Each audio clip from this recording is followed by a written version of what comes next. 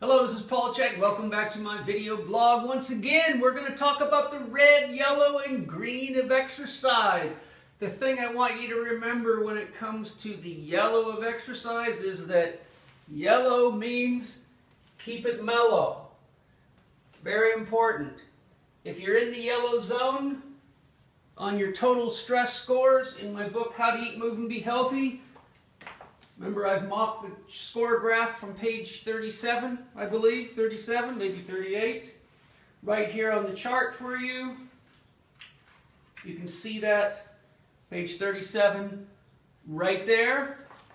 And don't forget, right after that is the test to help you identify what you should be using as your uh, individual proportions between flesh foods and plant foods so you can start the fine-tuning process of individualizing your meals from meal to meal, which is very important to all this. If you're eating wrong for your individual needs, exercise will be more significant a stressor on your body than it should be.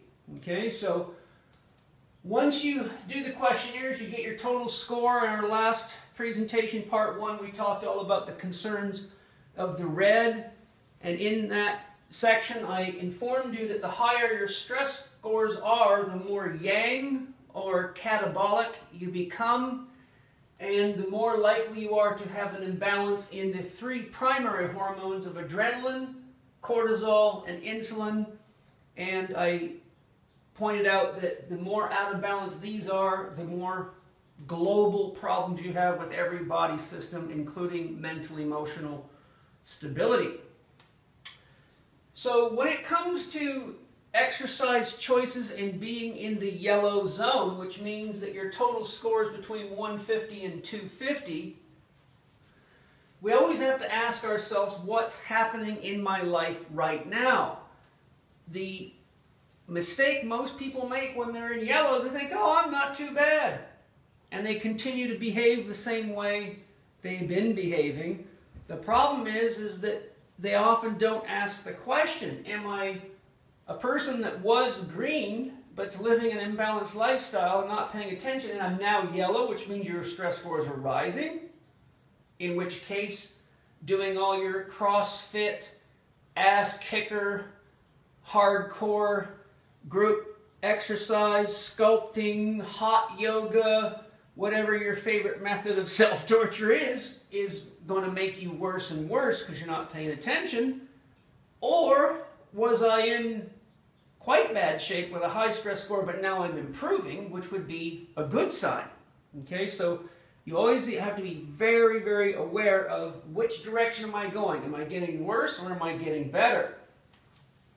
What do you need to look at? How do you feel now compared to last week, last workout, last month? Pay attention to the trends in your life. You are what you eat. How have you been eating? Have you been maybe all of a sudden working away or traveling and eating out of restaurants and drinking bottled water out of plastic? Uh, have you had stressful relationships? Uh, you know, what's the relationship to what's going into your body with regard to food and water? How is your overall sense of stress in your life, whether it be individually, in relationships, personal, professional, and spiritual? Spiritual, remember, means causes or transformation. So anybody that's in a transformative state is having a spiritual experience for sure, like the birth of a child, the loss of a loved one, the loss of a job, uh, a mother whose kids are leaving home to go to college, uh, someone in a midlife crisis, children changing from one school to another. These are all transitional states, athletes that maybe were first string and now got put down to second string and they're all emotional about it. Transitional states are usually times of much higher stress. Also, high stress times for athletes are right before any kind of playoff or championship, regional, national championships, things like that. So you have someone that was performing really well and all of a sudden the bottom falls out, but the coaches don't know what's wrong, but they are not often paying attention to how the individual athlete processes stress or mental emotional challenges, issues of self-esteem, uh, perceived pressure, perceived expectation, all these things.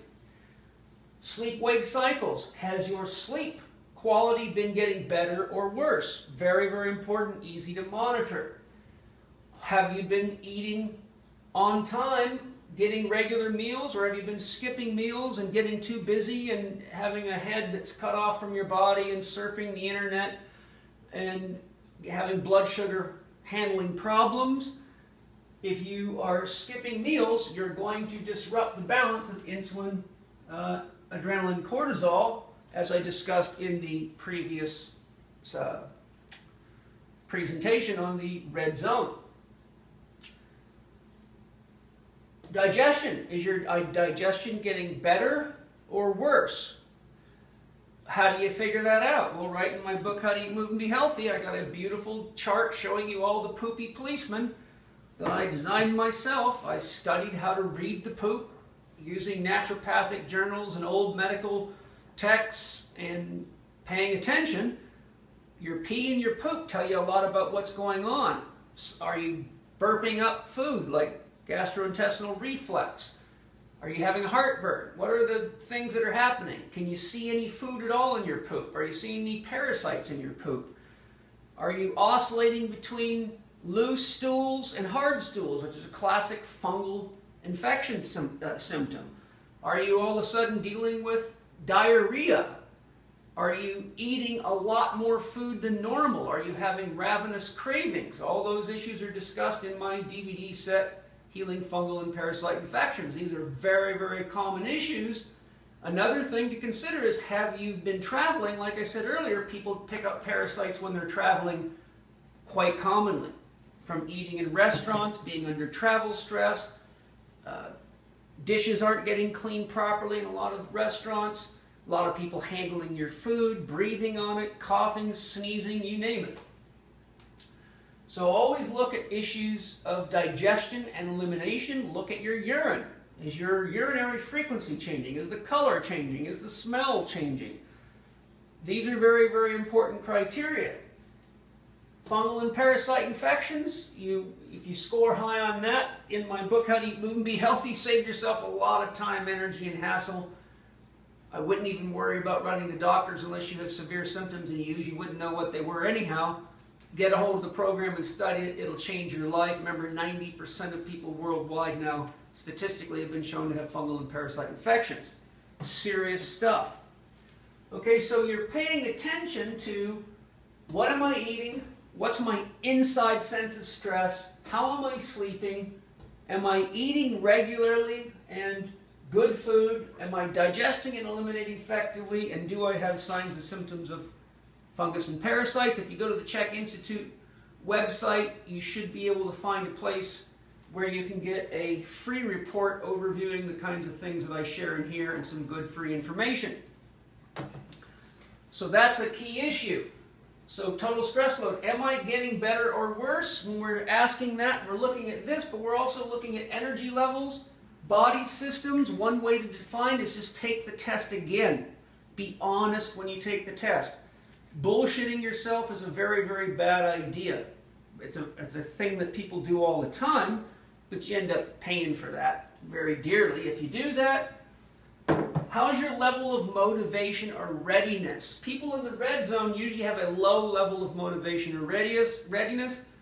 If your motivation and readiness is at the right level, you should feel on a scale of 10, 10 being kamikaze ready, zero being dead, you should be at least a 7 out of 10 excited to do something a little more vigorous than you did in your red zone or work in program. By the way, if you're in the red zone, in, in my book, How to Eat, Move, and Be Healthy, there's a series of four different levels of programs designed specifically to take you from red to green. So if you're not sure what to do and this is complicated, follow the book. Hey, I made it for you. Okay?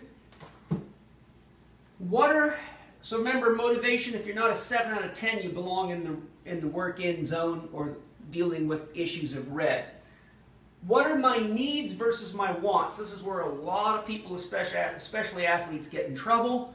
And it's usually the behavior of addressing wants before needs that leads to overtraining syndromes, chronic fatigue syndromes, fibromyalgia syndromes, uh, leaky gut syndromes. You know, the, the syndromes are long and many. So, what do I really need? Address that. That means you're an adult. If you keep on dealing with your wants, that means you have either got a mind virus or you're addicted or you're still a child that doesn't know how to take care of the greatest gift in the universe called your body. Next, we want to look at undulation of stress. When it comes to undulation of stress, this is, you know, to do this comprehensively requires a fair bit of training. If you look at my program design correspondence course, study that. There's a section on periodization in there. Then if you're ready for more, do my advanced program correspondence, advanced program design correspondence course. Do not do advanced program design, no matter how smart you think you are, until you've done program design. More people send advanced program design back saying it's above their head than any of my courses, and many of them thought they were geniuses when they bought it. And trust me, if Paul Chek says it's advanced, you can pretty much take that to the bank. Okay, so what are we going to do here? Here you can see my little diagram. The vertical axis relates to the intensity of the exercise, which relates to how fast is your heart going and how fast are you breathing. Remember, work in intensity for people in the red zone or anybody that wants to use it as yin exercise for recovery. No elevation of heart rate, no elevation of resting breathing rate. Should be able to do it on empty or on a full stomach, so it aids digestion and your tongue should stay moist. So when we go into the yellow, we can speed the heart up a little bit, but you should never feel like you're pushing yourself or stressing yourself. Just let that heart rate come up a little bit. Should be enjoyable. Breathing rate can speed up, but again, you shouldn't be huffing and puffing like you're running from a lion. It should be comfortable and enjoyable. So what we want to do is undulate. This is what's called undulating periodization you might do a day or two of working in, followed by a day of working out, but we're not going to do any more than we can handle. In other words, this could be 10 minutes, and it could be 20 minutes, and it could be 30 minutes, depending on how you feel, as long as you're feeling good. And then the next workout, you might go back down to work in intensities. Then you go up and if you feel good, you just push it just a little higher. You can monitor your heart rate, for example. You can monitor your sense of perceived intensity.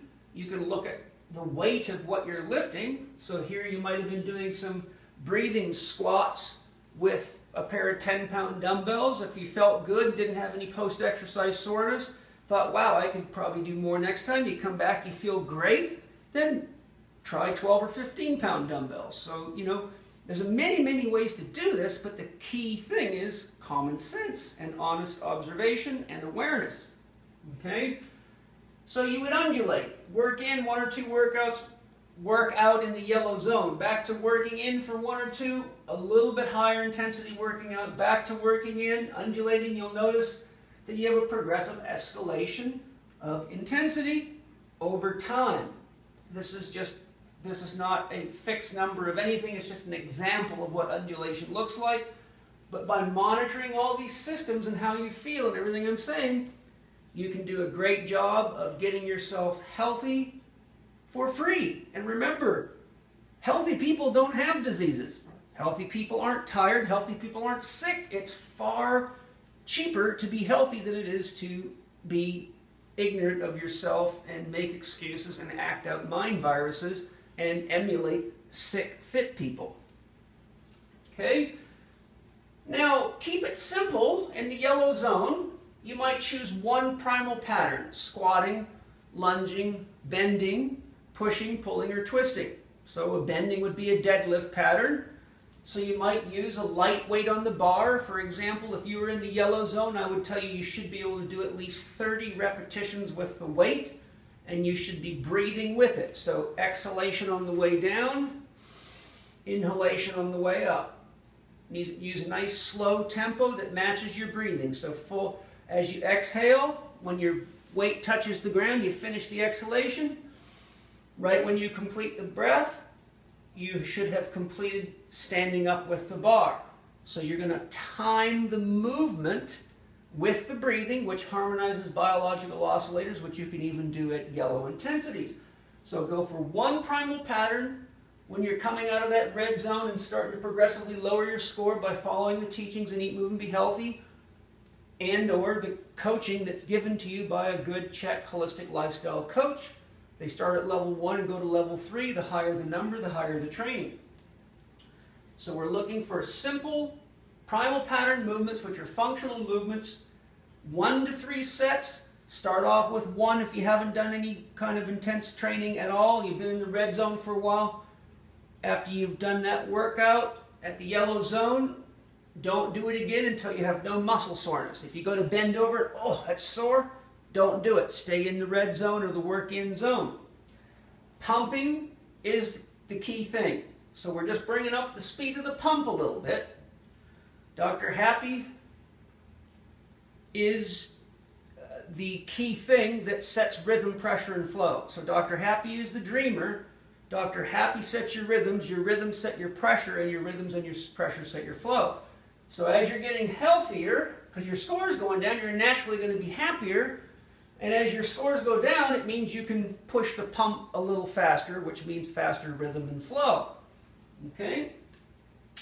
So number five, no yellow again until the soreness is gone and authentic energy levels are up. So that was the key point that I wanted to make there. I think I've covered it for you. So there's a little yellow mojo, baby. Remember, if it's yellow, keep it mellow. Always ask the question, am I getting worse due to stressors? Or am I getting better because I'm intelligently managing myself and loving, caring for, and respecting myself?